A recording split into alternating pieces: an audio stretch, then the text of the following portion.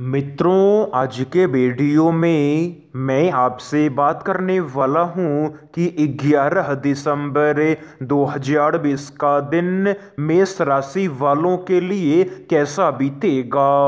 आने वाले समय के दौरान आपके जीवन में क्या क्या परिवर्तन क्या क्या बदलाव होगा? लेकिन सबसे पहले मैं आपसे बात करने वाला हूँ ग्यारह दिसंबर 2020 के पंचांग के बारे में। आज तिथि है एकादशी, नक्षत्र है चित्रा, पक्ष है कृष्ण पक्ष, दिन है शुक्रवार। आज के दिन सूर्य उदय का समय है सात बज के तीन मिनट में। सूर्य अस्त का समय है पाँच बज के पच्चीस मिनट में ऋतु है हेमंत। आज का दिन काल है दस घंटे, इक्कीस मिनट, ग्यारह सेकेंड का महीना है मार्ग शीर्ष।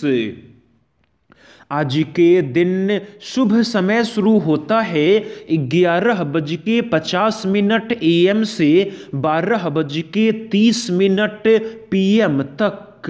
अशुभ काल शुरू होता है। नौ बज के आठ मिनट एम से नौ बज के उनचास मिनट एम तक।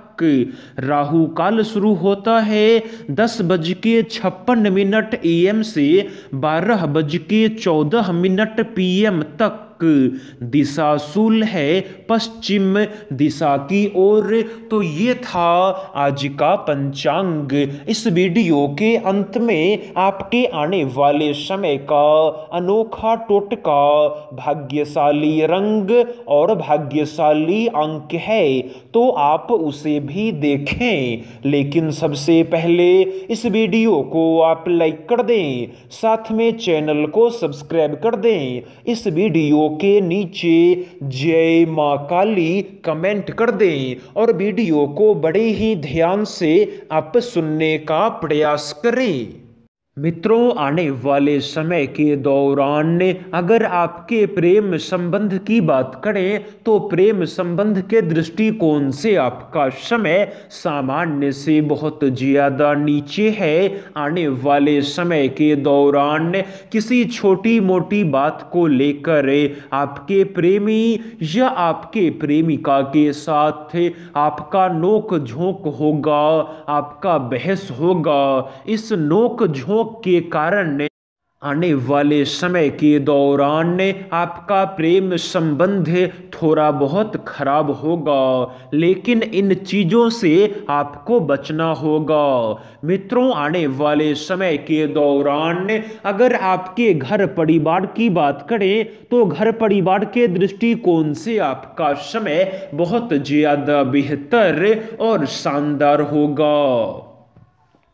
मित्रों, आने वाले समय के दौरान आपके घर का माहौल, आपके घर का वातावरण बहुत ज़्यादा बेहतर और शानदार होगा। आने वाले समय के दौरान आपके घर वालों का साथ, आपके घर वालों का सपोर्ट आपको बहुत ज़्यादा मिलेगा। लेकिन अगर आपके धन संपत्ति की बात करें तो पैसों के दृष्टिकोण से आपका समय सामान्य रहेगा। न ज़्यादा बेहतर, न ज़्यादा खराब।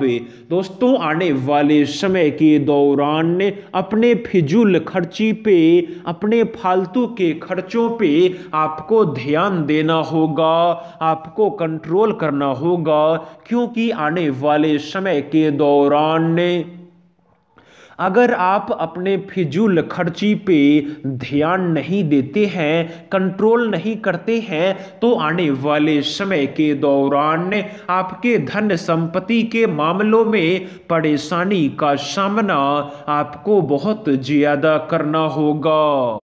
तो इसके बाद बात करते हैं कि आने वाले समय के दौरान आपके लिए अनोखा टोटका भाग्यशाली रंग और भाग्यशाली अंक क्या है?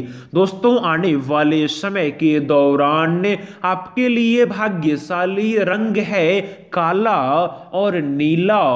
दोस्तों, आने वाले समय के दौरान आपके लिए भाग्यशाली अंक है दो, यानी कि टू।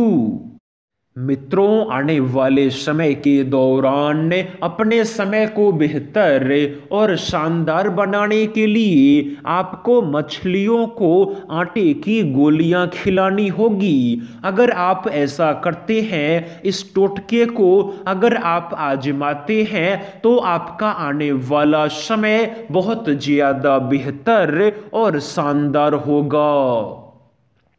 तो इस वीडियो को आप लाइक कर दें, साथ में चैनल को सब्सक्राइब कर दें। इस वीडियो को आप हर जगह शेयर कर दें। धन्यवाद।